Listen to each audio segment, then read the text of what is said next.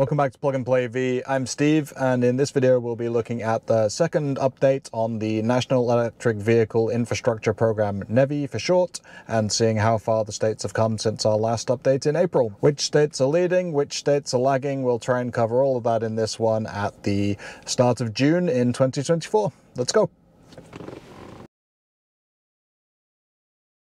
So if you missed the first video, it's uh, linked down below in the description and the comments and probably worth checking out because it will give you a little bit of background to the National Electric Vehicle Infrastructure Program, the funding, and the various uh, stages that states can get to from requests for proposal to awarding and all the way through to construction and activation of stations.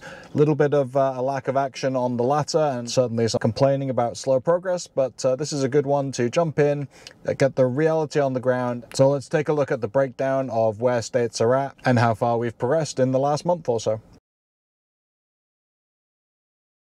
So I think we started off with positives last time. Let's start with the laggards in this case. I know folks had asked for a map and visualization of which states were lagging behind, hadn't even got their uh, proposals in yet and made any awards. So we'll start there for this video. So at the time of recording, there are 14 states and also Puerto Rico that have not progressed to the RFP stage. That's request for proposals. That's having active solicitations to have folks apply for sites and funding under the NEVI program program at which point they would eventually close those rounds of funding and award sites and contracts to go and uh, get planned and built. So right back there at the start, there's this group of states which is actually more diverse than you might think. In some cases, there are states who really seem to have very little interest or certainly very little haste at least in uh, installing EV fast charging. That could be the likes of Wyoming because the utilization is going to be so low. That's more based on what's in the state and how many vehicles, as we'll get onto, not so much travelers coming through the state, which is what a lot of this first round NEVI funding is for. But there are also some others in there that may surprise you. So in terms of these states, you can see there's a mixed bag. First of all, obviously, we've got your Wyomings, West Virginias, uh, some of these states, maybe in South Dakota as well to a lesser extent, that have this natural inclination to not progress as fast with electric vehicles, partially because of their location. They're in a place that is probably going to be less attractive for some electric vehicles. There may be truck drivers who need to go further need to have towing, a um, bunch of different use cases, but in any case, also very small uptake in the market. Wyoming's notable, as I say, because they have categorically come out and say it's not worth us doing the RFP at the moment because there's just not going to be the utilization. It's also worth remembering it's a really small state. It ranks last in terms of uh, population. It's just over about half a million people there. And in terms of vehicle sales, you're also talking very few. Last year it was uh, in 2023, about 29,000 new vehicle sales. So although there are very few electric vehicles sold in those states, there's also very few vehicles sold at all. Even down in Rhode Island, you've got more than a million people and that's a state that's uh, going to be on our kind of front runners list even despite the size. They obviously have a more of a motivation to get ev charging in the ground. But you can see to an extent why wyoming is lagging behind there and maybe has made that decision although it is going to come back to bite them i think as we'll cover here. But then you also look at states like uh, washington new jersey all in these kind of areas where other states near them have gone ahead and started to accelerate that. But those are states that we can confidently say are going to to move forward. Maybe they've had administrative delays, maybe they've wanted to take their time and make sure they get it right to identify the routes that really need charging and which locations they're going to prioritize.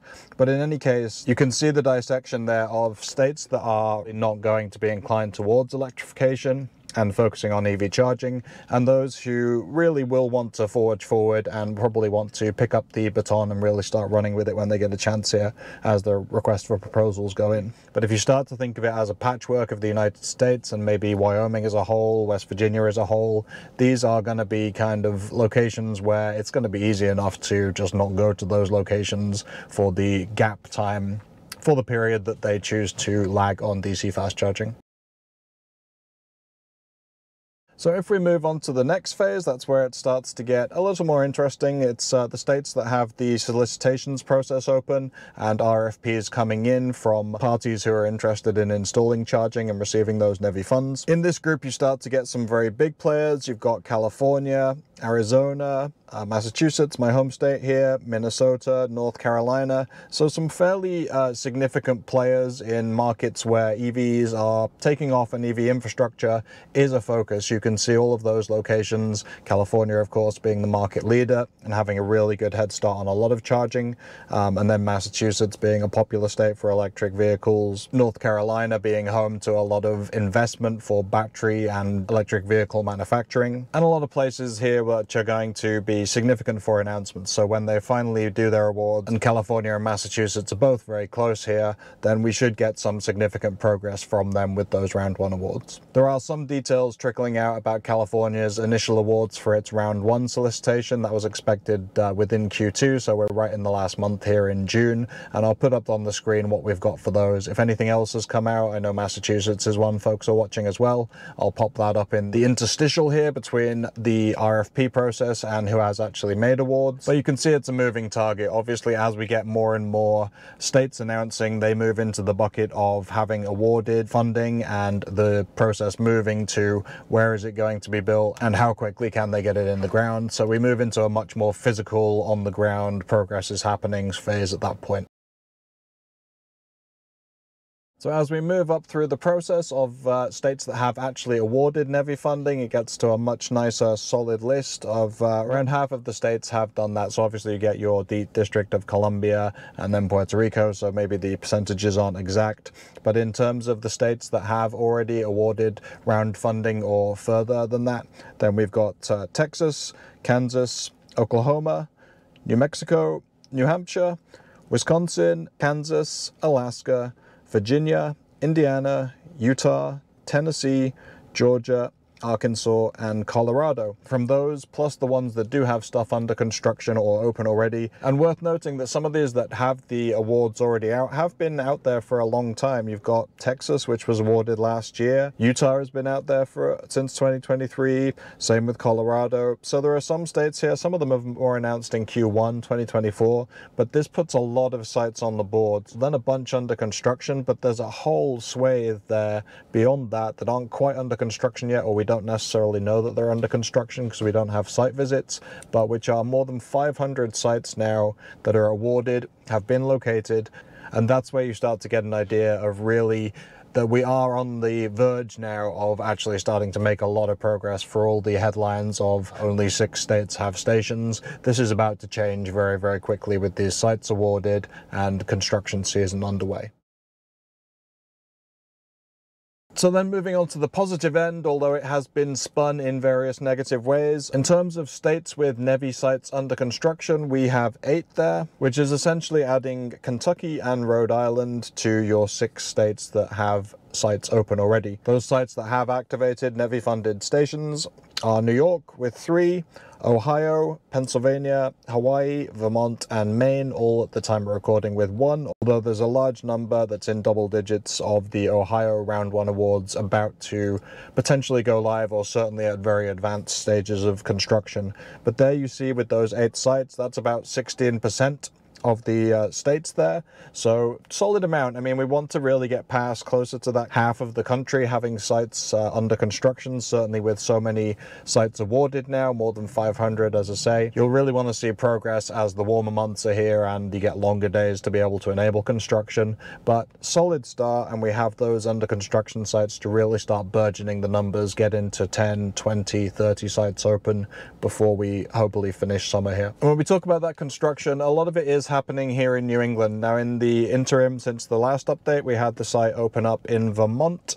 I'm thinking the uh, site in Maine for Rockland was already open when I recorded the update, the first one. But in any case, I visited the uh, site up in Rockland, Maine for Tesla's first NEVI award. You can see that separately on the channel here. And then not too long after that, Vermont opened a expanded site in Bradford, Vermont which is kind of on the border with New Hampshire. So you've got a lot of these New England states now with Maine and Vermont both having locations, New Hampshire having made its awards, Massachusetts and Connecticut still the laggards in that sense with uh, the RFP is still open and uh, about to be announced later this year hopefully. But you see a lot of activity there, New York as well, and then over to Ohio where there's this big glut of uh, stations, most of them Pilot Flying J with a couple of uh, Francis Energy sites in there as well, those being about 10 to 12 sites that are about to be open or in the later stages of construction. You also have in Richmond, Kentucky, the first Circle K site that won awards. Uh, that should be up anytime soon. That's going to be the first ABB chargers in the ground and the first Circle K site that has opened up with NEVI funding. And then you have Rhode Island, which is going to be one of these that has an expanded site, as the site in Bradford, Vermont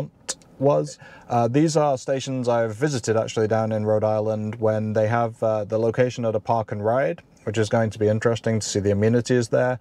But the existing installs have been two CPE 250s, and I don't believe they're paired even, so you get a very limited 62.5 kilowatts from those at best. But then they've gone and uh, expanded those sites, obviously park and ride, basically a big parking lot right off the interstate. So in terms of location, perfect for NEVI, although again, the amenities may be in question there.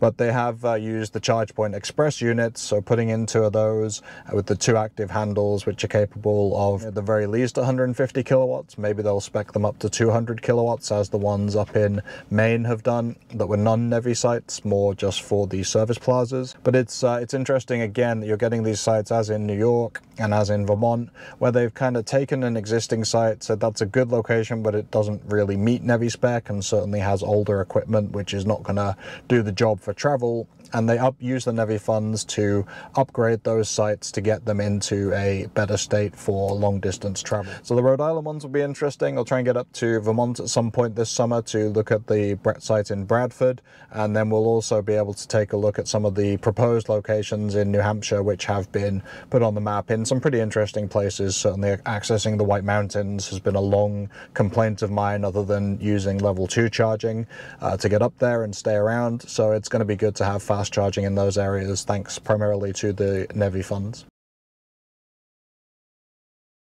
So, as I say, one of the dangers of recording in uh, times where a lot of these announcements are happening is that things can overflow, and before I get the video edited and posted, other things have happened and the numbers have changed. So, be sure to check your local state and uh, any of the resources down below in the video description and comments in case anything has changed. I'll update it there. Otherwise, we'll catch them up in the third NEVI update, which will be for July now. So, stay tuned for that. Check out the first NEVI update. If you have any NEVI related uh, questions, comments, things you'd like me to track, certainly put them down in the comments. Love to hear that, and I'll be happy to add them to future updates. Thanks for watching, and see you in the next one. Cheers.